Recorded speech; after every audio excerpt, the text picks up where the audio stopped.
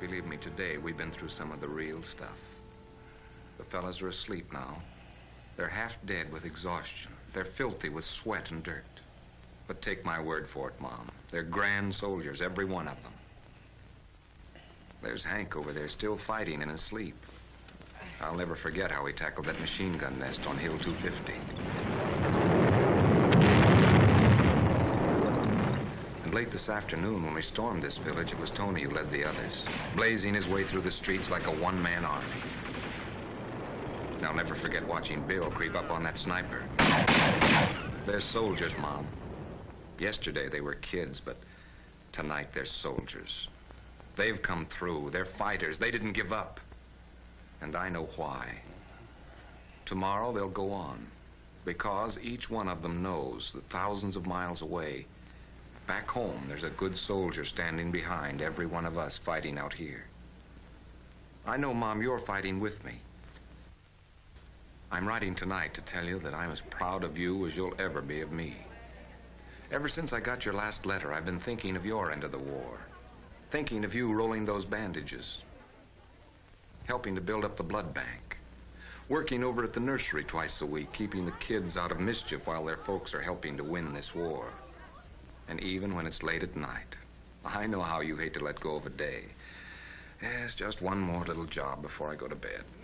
Patching, darning, making over. I'm glad you haven't turned the old house into just a headquarters. I'm glad you're keeping it our home, the way it was. That's the way I feel about it out here. But it's also part of a woman's job, keeping up the home.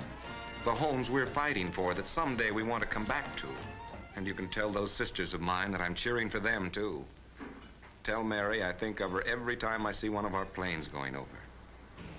Tell Ann she's doing as good a job as any man in a tank out there on the farm. Tell every woman in our town, from one soldier to another, that I'm proud of them all. Say hello to Mrs. Zabinski. Tell her I think she's a good soldier, too. Say hello to Mrs. Carney, who organized the canteen down at the station.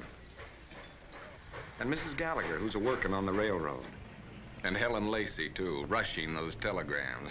you know, we always said Helen would get there. But you've just got to give her time. Yes, you're all good soldiers, Mom. We know how you're going without things so as to buy just one more war stamp or one more bond. I know what a kick you used to get out of new clothes. You're not fooling me now when you say you like your old things best. And you're not fooling me when you make exceptions for some of the other women in our town. There shouldn't be any exceptions.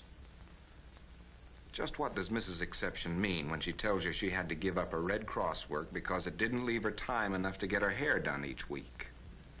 And what does this other Mrs. Exception mean when she says she can't help at the canteen because they need her at the same time at a bridge party?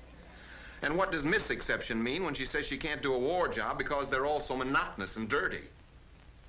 And what does this Mrs. Exception mean by complaining about high prices and then boasting of all the stuff she bought on the black market? These aren't exceptions, Mom. They're only slackers. Remember, there aren't any exceptions out here, Mom. There can't be. Don't those women realize there can't be exceptions anywhere? We took a village today. The people cheered. They'd lived for three years under the dictators. For three years, they'd watched the skies with fear in England, in Russia, in Czechoslovakia, Poland, France, and Greece in China.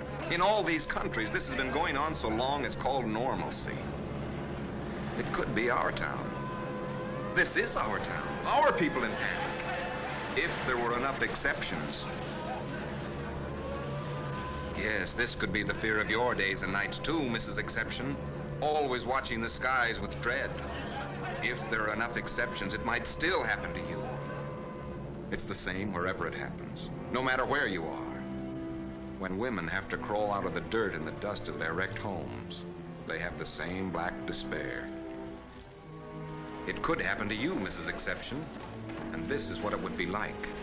This was your home, your address, 252 State Street. And hunger is always the same, in any stomach, in any language. One egg a month and standing in line to get it. You could be in line too, Mrs. Exception. moving forward only a few steps each hour for this. In England, the women were given jobs they never asked for. The job of shoveling up their own homes. In Russia, the invaders created a cruel task for the people, and they made no distinction in sex. And the women of Greece wonder if they'll ever stand up straight again. It could be you, Miss Exception, and it could be Maple Avenue in front of your house, and the job is monotonous and dirty. After all these years, there are still tears to be shed. What would it be like if it happened to us? What would it be like if it happened to you, Mrs. Exception? Yes, this is it. Here's how we'd have to leave our town. First, sending to safety the children who were left as they sent them away from their homes in London. And in Russia, this is how they tried to get away from the storm of war which came closer every hour. It wouldn't be different even if it were our own Highway 32 running out north by Johnson's Corners. In China, they've walked this road for years. This isn't China, but we soon learn that the road is just as hard and hot and steep. This isn't China, but we bring the same things with us. Books from the library for the children someday when they're school again. And the precious instruments of science because someday, sometime, perhaps we can resume the struggle against pain and disease and all the catastrophes of ignorance. This might be true. It will be true if there are enough exceptions. Tell them, Mom, there are no exceptions here. There can't be exceptions anywhere. There's too much ahead. We'll be going on tomorrow morning, Mom. Hank, Bill, Tony, all of us, with no exception. March behind us, Mom, and Mrs. Zabinski, and Mrs. Gallagher, and all of you. It's a big war. There's a place for everybody. We need you. March with us. Keep in step.